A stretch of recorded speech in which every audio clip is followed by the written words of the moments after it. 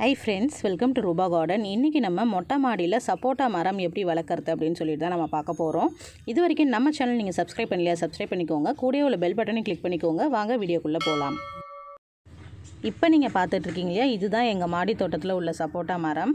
இந்த மரம் வச்சு ரெண்டரை வருஷம் ஆகுது. இந்த செடிக்கு நாங்கள் எந்த மாதிரியான மண்கலவை வந்து தயார் பண்ணோம் அப்படின்னு சொல்லிட்டு பார்த்தீங்கன்னா நார்மல் சாயில் ஒரு பங்கு கொக்கோபிட் ஒரு பங்கு தொழு உரம் ஒரு பங்கு கொஞ்சமாக மணல். இது எல்லாத்தையும் கலந்து தான் இந்த ஜாடியில் வந்து வச்சுருக்கோம். எந்த மாதிரி ஜாடின்னு பார்த்தீங்கன்னா ஒரு பெரிய அன்னக்கூடை வந்து எடுத்திருக்கோம். அன்னக்கூடை இல்லைன்னா நம்ம பெரிய பெயிண்ட் வாலி எடுத்துக்கலாம். அப்படி இல்லைன்னா க்ரோ பேக்கில் பதினஞ்சு இன்ட்டு பதினஞ்சு எடுத்துக்கலாம். அது வந்து கரெக்டாக இருக்கும் மரம் வளர்க்குறதுக்கு. இது வந்து பார்த்திங்கன்னா வாங்கிட்டு வரும்போதே ஒட்டு ரகம் அப்படின்னு சொல்லிட்டு வாங்கிட்டு வந்தோம். ஒட்டு ரகம்னா என்னன்னு பார்த்தீங்கன்னா ஒரு விதை போட்டு நார்மலாக ஒரு செடி வளர்ந்த பிறகு அதை பாதியில் வந்து வெட்டிடுவாங்க. வெட்டினதுக்கப்புறம் நல்லா ஏற்கனவே வந்து ஒரு முதிர்ந்த மரம் அதாவது பெரிய மரமாக இருக்கு இல்லையா அந்த மரத்தில் இருந்து ஒரு கிளையை எடுத்து இதில் வந்து ஒட்டு போட்டு வளர வைப்பாங்க. ஸோ இந்த மாதிரி மரக்கன்று எல்லாம் பார்த்திங்கன்னா சீக்கிரமாக வந்து காய் வைக்க ஆரம்பிச்சிடும்.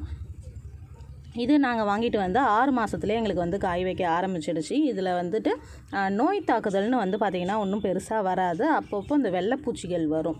ஸோ அதுக்கு வந்து நம்ம என்ன பண்ணணும்னு பார்த்திங்கன்னா மீன் அமிலம் தான் நாங்கள் வந்து கண்டினியூஸாக ஸ்ப்ரே பண்ணிகிட்ருக்கேன் எனக்கு எந்த ப்ராப்ளமும் கிடையாது. பாருங்கள் எவ்வளோ கொத்து கொத்தாக காய்கள் வச்சுக்கிட்டே இருக்குன்னு. சீசனும் கிடையாது. இது நார்மலாகவே எல்லா சீசன்லேயும் வந்து பார்த்திங்கன்னா நல்லாவே வந்து காய் கொடுத்துக்கிட்டே இருக்குது இதுக்கு வந்துட்டு நாங்கள் சத்துக்குன்னு என்ன கொடுக்குறோன்னு பார்த்தீங்கன்னா கடலை புண்ணாக்கு கரைசல் வந்து மந்த்லி ஒன்ஸ் கொடுப்போம். அப்படி இல்லைன்னா வந்து குச்சி தீவனம் கொடுப்போம். மண்புழு உரம் கொடுக்கலாம். அப்படி இல்லைன்னா வந்துட்டு நம்மளோட வீட்டில் வந்து காய்கறி கழிவுகள்லாம் இருக்கு இல்லையா அதை மக்கின பிறகு அதில் வந்துட்டு ஒரு கைப்பிடி வந்து கொடுக்கலாம். இப்போ வந்து கொஞ்ச நாளாக வந்து டபிள்யூடிசி வந்து கொடுத்துட்ருக்கோம். ஒரு டூ வீக்ஸாக தான் கொடுத்துட்ருக்கோம். மற்றபடி வந்து மீன் அமிலம் தான் கண்டினியூஸாக நாங்கள் எங்களோட பிளான்ட் ஃபுல்லாகவே வந்து பார்த்திங்கன்னா மீன் அமிலம் தான். எந்த ஒரு பாதிப்புமே இல்லாமல் எனக்கு வந்துட்டு அடித்தோடனே ரிசல்ட் தெரியறதுன்னு பார்த்தீங்கன்னா அது மீன் அமிலம் தான். எவ்வளோ கொத்து கொத்தாக நிறையா காய்கள் வந்து வச்சுருக்கு பாருங்கள் ரொம்ப டேஸ்டியாகவும் இருக்கும். இதில் வந்துட்டு பூ வந்து இந்த மாதிரி தான் இருக்கும்.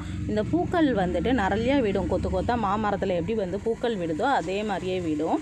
இது கொட்டாமல் இருக்கிறதுக்கு நம்ம தேமூர் கரைசல் இருக்கு இல்லையா? அதை வந்து ஸ்ப்ரே பண்ணி விடலாம். தேமூர் கரைசல் நீங்கள் ரெடி பண்ண முடியலன்னா நம்ம வீட்டில் வந்து புளிச்ச பழைய மோர் இருக்கு இல்லையா? அதை நம்ம ஸ்ப்ரே பண்ணி விட்டாலும் இந்த பூக்கள்லாம் வந்து உதிராமல் பூத்த பூக்கள் எல்லாமே வந்து காயாக மாறும். சப்போட்டா மரத்தை பொறுத்த வரைக்கும் நீங்கள் தரையில் வச்சிங்கன்னா நல்லா படர்ந்து விரிஞ்சு நல்லா வளர்ந்து ஒரு பத்து கிலோ இருபது கிலோ காய்கள் வரைக்கும் ஒரே மரத்துலேயே கொடுக்கும். பட் நம்ம டெரஸில் வைக்கும் போது பார்த்திங்கன்னா நம்ம வந்து ஒரு ரெண்டு கிலோ அந்த அளவுக்கு தான் நம்மளால் எடுக்க முடியும். ஆனால் கண்டினியூஸாக வந்து காய்கள் இருந்துக்கிட்டே இருக்குது எல்லா சீசன்லேயுமே வந்து காய்கள் இருந்துக்கிட்டே இருக்குது ரொம்பவும் டேஸ்டியாகவும் இருக்குது ஸோ நம்ம இடம் இல்லைன்னா நம்ம வந்து டெரஸ்லேயே வச்சு வளர்க்கலாம். ரொம்ப ஈஸியாக வளர்க்கக்கூடியது தான் எந்த ஒரு மெனக்கிடத்திலும் இதுக்கு வந்து தேவையில்லை. இது வந்து எந்த மாதிரியான மண் கலவையில் வந்து நல்லா நல்லா வரும்னு பார்த்தீங்கன்னா எல்லா வகையான மண்ணுலையுமே இது வந்து பார்த்திங்கன்னா நல்லா வருது.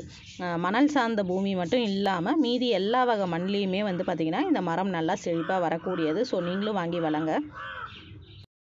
இதை நம்ம சீட்ஸ் போட்டும் வளர வைக்க முடியும். பட் வந்துட்டு அது காய் கொடுக்கறதுக்கு ரெண்டு மூணு வருஷங்கள் ஆகலாம். இந்த மாதிரி ஒட்டு மரங்கள் வாங்கிட்டோன்னா நம்மளுக்கு சீக்கிரமாகவே வந்து காய் கொடுக்க ஆரம்பிச்சிடும். இன்னொன்று நம்ம டெரஸில் வைக்கும் போது முக்கியமாக கவனிக்க வேண்டியது இந்த மரத்தை வந்து ரொம்ப பெருசாக வளர விடக்கூடாது. அப்பப்போ கட் பண்ணி நம்ம ஒரு சின்ன செடியாகவே வச்சுருக்கணும். ஸோ அதை மட்டும் கவனத்தில் வச்சுக்கோங்க. ஸோ இந்த வீடியோ பதிவு கண்டிப்பாக உங்களுக்கு யூஸ்ஃபுல்லாக இருந்திருக்கும்னு நினைக்கிறேன். அப்படி யூஸ்ஃபுல்லாக இருந்ததுன்னா நம்மளோட சேனலை வந்து சப்ஸ்கிரைப் பண்ணி வச்சுக்கோங்க. உங்கள் ஃப்ரெண்ட்ஸ் அண்ட் ரிலேட்டிவ்ஸ்க்கும் ஷேர் பண்ணுங்கள் உங்களுடைய டவுட்ஸ் எதாவது இருந்ததுன்னா கீழே கமெண்ட் பாக்ஸில் தெரிவிங்க. தேங்க்யூ ஃபார் வாட்சிங்